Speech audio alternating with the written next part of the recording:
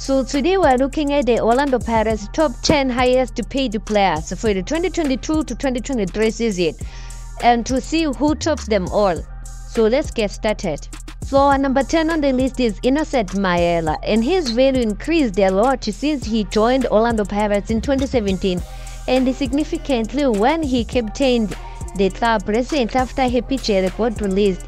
Maela has shown to be one of the best extraordinary defenders in the league. He takes home 150,000 every monthly, which equals to 1.8 million annually. So our number 9 on the list is Bienvenu Eva Nga. Uh, Bienvenu Eva is a Cameroonian international forward striker who will still join the Pirates for this current campaign. His notable contributions at Chippa United paved his way to Orlando Pirates. His home take package is estimated to be around 160,000 per month. And coming to our number 8 is Thembinkosi Lorch. Thembinkosi Lorch was voted player of the season and players player of the season for 2018 to 2019 which made him the most valuable player at the time. Uh, but unfortunately, he suffered from injuries and stayed off the game for a while. His salary is estimated to be around 165,000 every month. Our next player is Vincent Pule. So Vincent ranks uh, at number 7 on the list of Pirates' highest paid players. He is estimated to be earning about 170k per month based on his experience and the value he adds to the club. Pule is a South African football player who plays for Bafana Bafana and Orlando Pirates. Our number 6 on the list is Fortune Makaringe. Orlando Pirates has recently made a big splash in the transfer market breaking their own transfer record fee to bring in two talented uh, attacking midfielders. Fortune Makaringe is one signed from Maritzburg United, and his parent salary is estimated around 185,000 per month.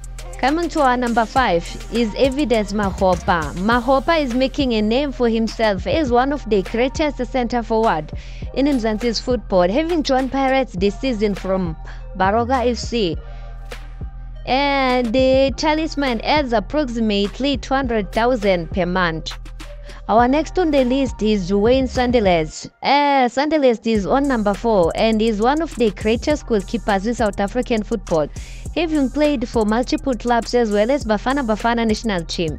Sandilands' monthly take-home salary is estimated to be over 250,000. Richard Ofori is our third on the list and uh, is an experienced Ghanaian international and Orlando Pirates goalkeeper.